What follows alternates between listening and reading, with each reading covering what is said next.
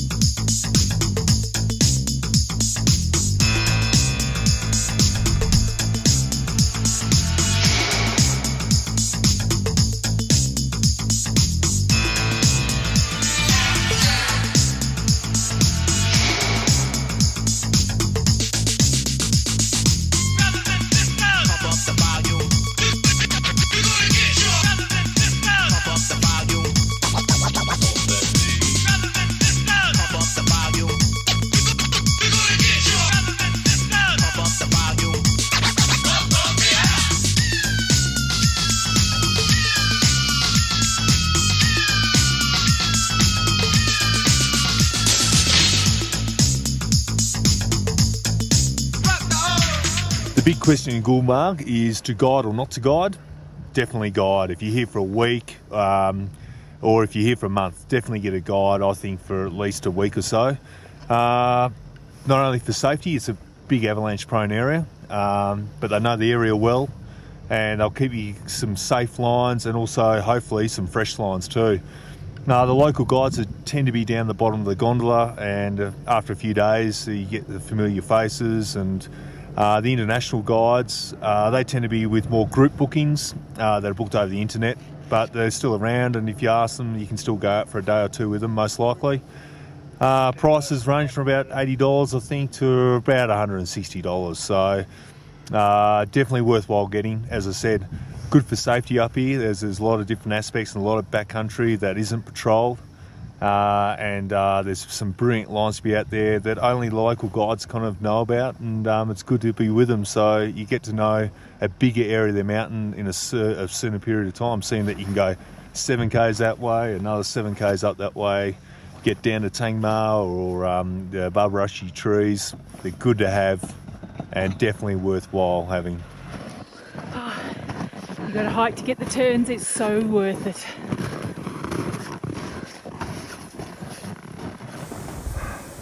Over there's where we do all our heli skiing. Over here's where we do all our uh, backcountry. Over there. This is where we're just about to go skiing. If it's your first time to Gulmarg, I do recommend a guide. You get to some pretty magic places. Man, it is incredible.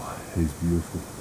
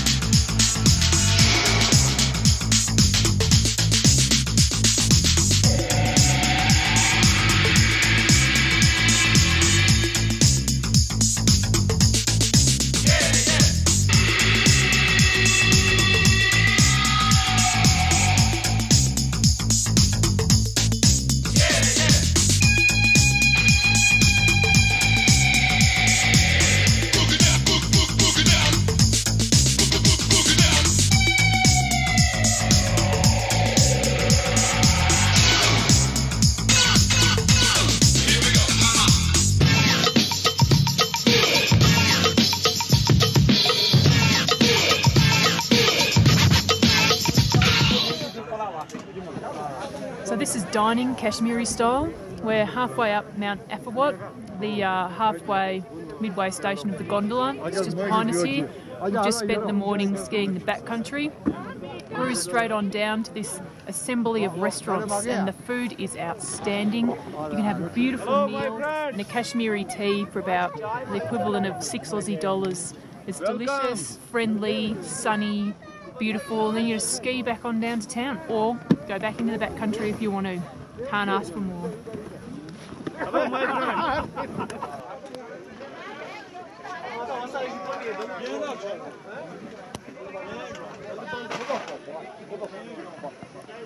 This is where we normally uh, eat lunch, and uh, it's just above the phase one of the gondola. Quite good, cheap food, and uh, some days it just it's nuts here with little um, fires going, um, and they put uh, juice in there or beef it up with a little bit of uh, uh, methyl or whatever, and then it becomes actually unpalatable to stay here because you get this wafting cloud just above all these makeshift tents here. So days like today, where it's quite quiet, ends up being a little bit uh, a little bit nicer. But uh, you don't have the atmosphere as the uh, of the the crowd.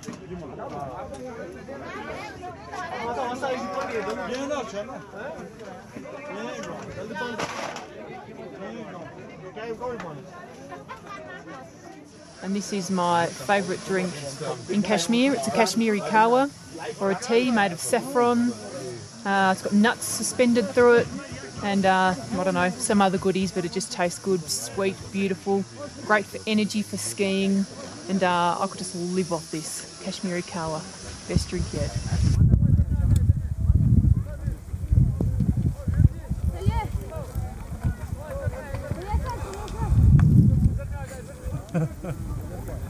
Ah, lunch at the uh, tea huts. It's going off in there today. Lots of little fires, lots of people getting warm, a couple of cows. What more can you ask for? And it's dumping. It's absolutely dumping. Bring it on. Pump up the volume, pump up the volume, pump up the volume, dance.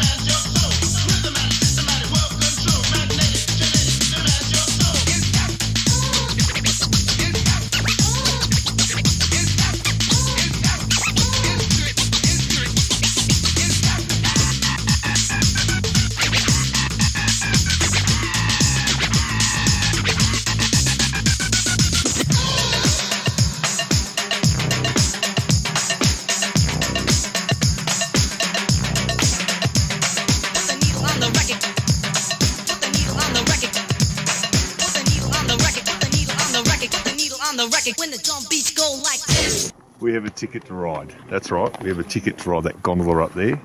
It's uh, 200 rupee or approximately $4 Australian. And that's phase one. And uh, you buy your tickets individually. And then you go up to the top of the mountain, which is phase two. There's another ticket. That's another 300 rupee, which is about six bucks. So you get up to the top for approximately about $10. And uh, you have to buy your tickets individually. It's an awesome system. Sometimes you have to wait for about half an hour in the ticket office just to get your ticket, and then you have to wait about another half hour to get before you get the gondola. So by the time you get the top, it could be 11:30. But while you're down here, there's uh, lots of people selling uh, chai and uh, you know other assortments. So there's uh, plenty to tie you by. Let's go. Gondi Station. It was finished in 2006 or 7.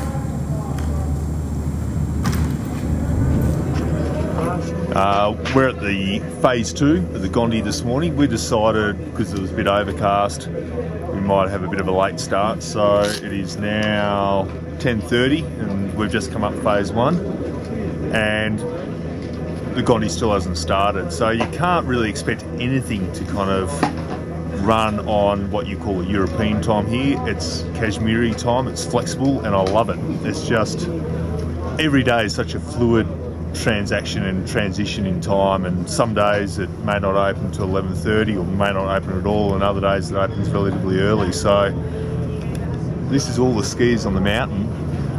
There's lots of good snow to be had up the top. So you can't really complain it's just another fantastic day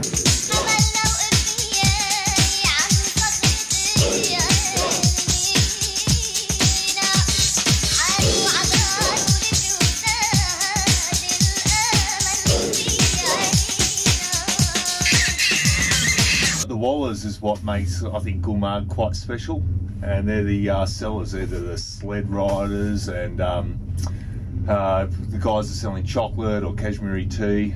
And when I first arrived, I thought, oh, they're trying to pull one over you, trying to rip you off. But they're not. They're uh, the prices are quite fair. I mean, these guys walk up to the mid station every day, and sure, they're about like a chocolate bar. I think down in town you can get for about 25 rupees, and up here they might sell them for 35 or 40. But think about it. You know, you're looking at walking up here every day to provide a service. So. Uh, yeah, the first one, one or two times I was trying to bargain and barter, and then after I thought, doesn't matter if you've been here for a day or a week or a month or a season, they all pretty much offer the same price all the time. So how much is this one? 70 rupees. 70 rupees. Yeah. Is that your most profit on that one? no. Well, it should be today because look, we're the only people up here. Uh, No one's up here except us. We're waiting. It's snowing, obviously. Waiting for the uh, chair to open up, which it may not do, and that's the risk that you take.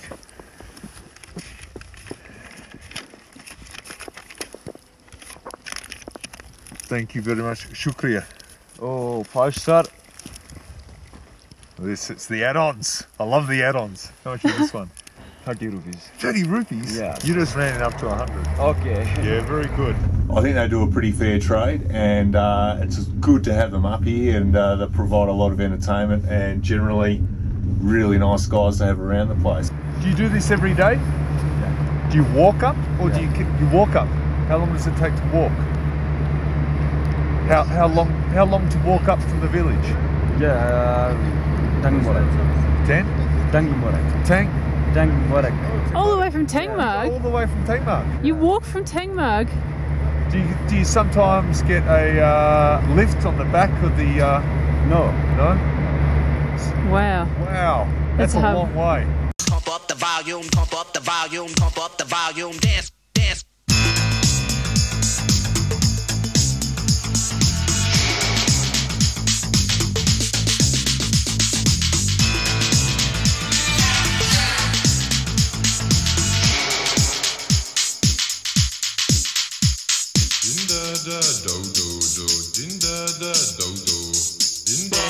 do do do, da do do,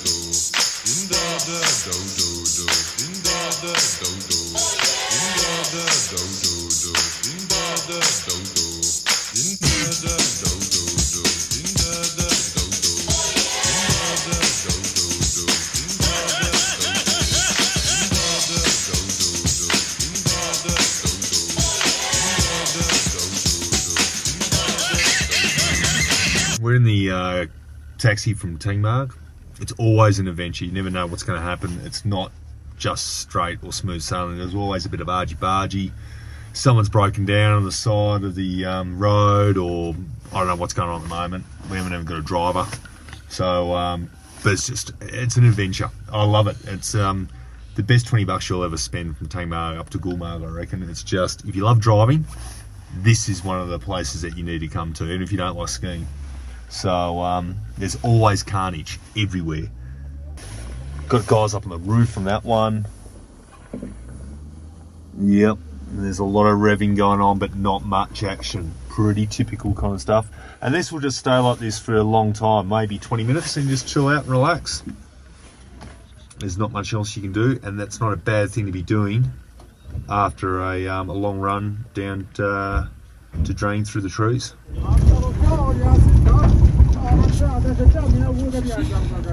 So we've uh, just come from Tangmarg back to Gulmarg. Picked up a hitchhiker on the back of the uh, taxi on the way. Every time we've done this road, it's been different and it's always been an adventure. Today was probably the clearest, but still icy, rutty, and bumpy. I think we're losing some of our other passengers. Everything is an adventure here.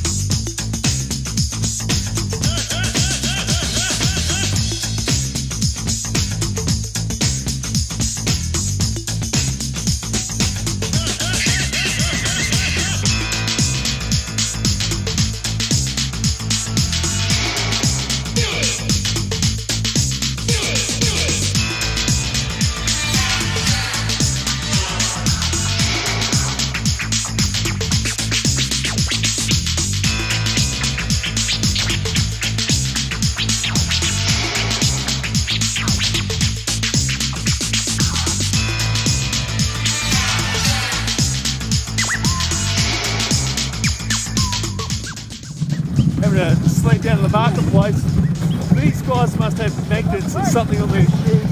I've seen that many people slip over this afternoon. But look at these guys, these guys are crazy. Whoa!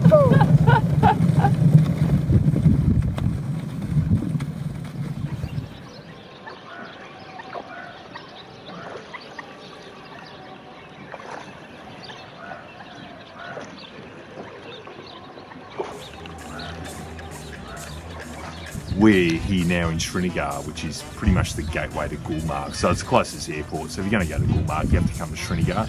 And what a place. Uh, yesterday we went to um, one of the oldest mosques here, or the oldest mosque here, 850 years old. So the place is pretty old. Uh, the town is crazy, lots of little alleyways, um, great marketplaces, some beautiful old buildings, and some buildings look like they're just about to fall down. The people are incredible, really friendly, and I've been really surprised actually by the hospitality everywhere. It's fascinating. And then to kind of combat that craziness, uh, you come out to the lakes where you've got these amazing boathouses, and look at these. They're kind of been detailed with an inch of their lives, and they're just these beautiful wooden boathouses up to about 130, 140 feet long. And they've got like maybe four rooms, en suites, dining rooms, and they're just such a lovely way to spend uh, a time in Srinagar. You've got this yin and yang, as I said, it's just a crazy place.